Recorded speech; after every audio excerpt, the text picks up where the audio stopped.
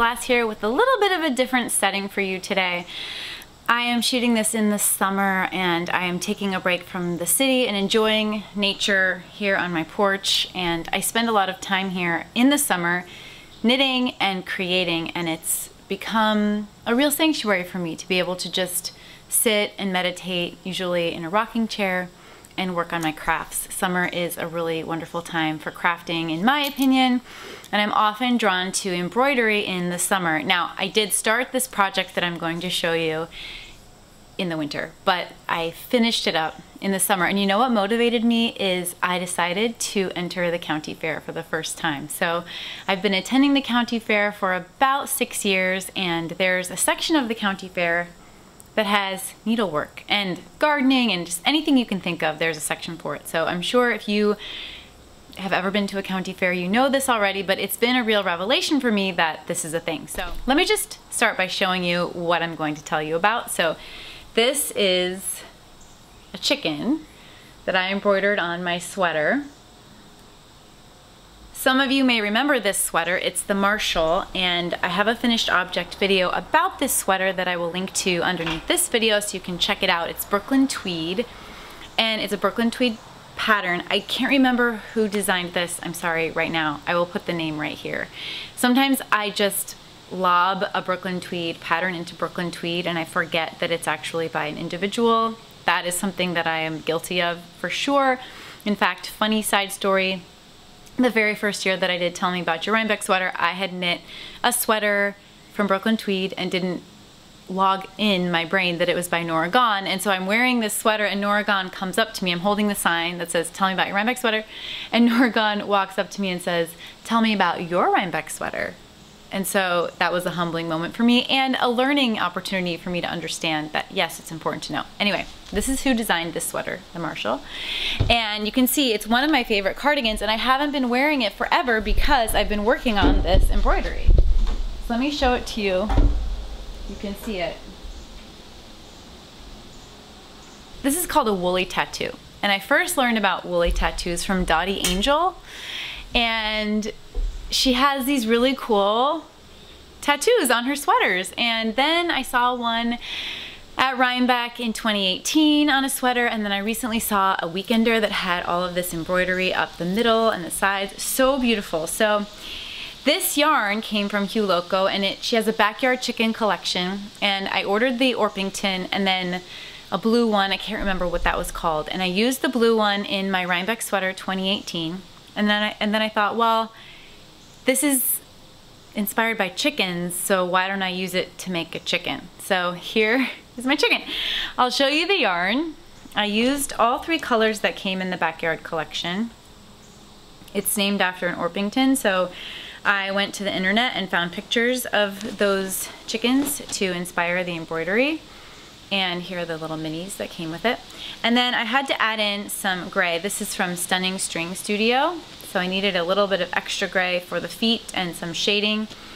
And because I was really unhappy with the way my feet were coming together, I decided to add the grass from my inspiration picture as well. I still have some leftover cashmere from Plucky. I will not throw this away. I will use every last bit of it.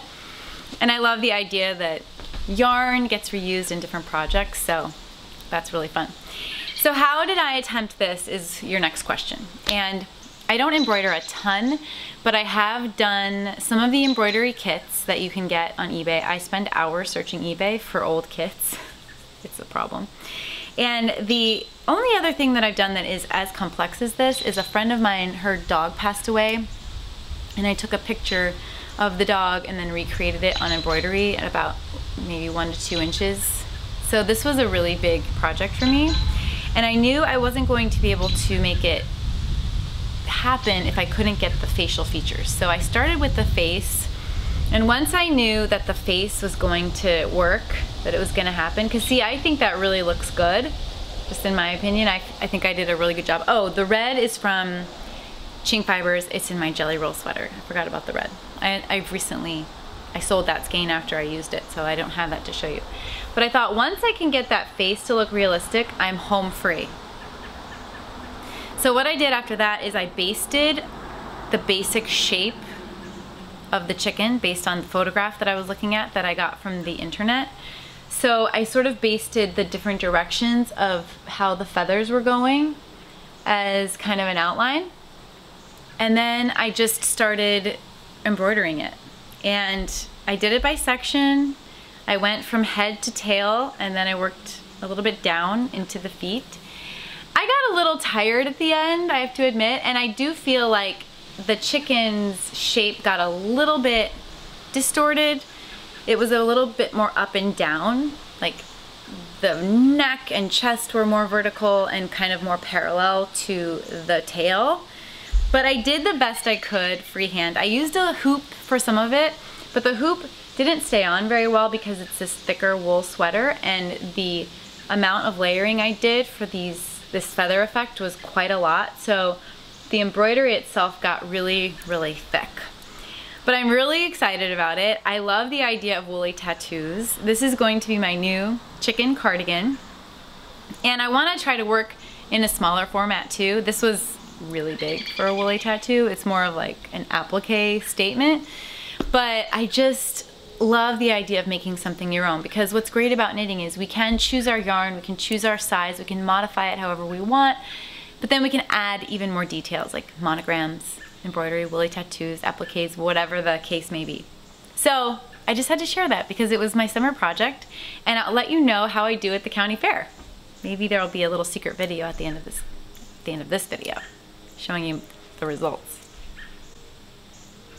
We'll see, my first time. Okay, the county fair is over. This is the feedback that I got from the judge. Thank you for entering. Too many loose threads on inside.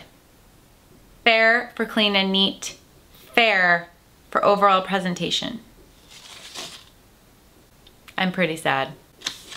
I didn't think of it. I've never been very neat on the inside and I could have gone in and clipped some of these ends, but I forgot and I was so excited. So here is what it came down to in the end, you guys. It came down to this. This is what I was judged on. This is what I was judged on. This is not what I was judged on.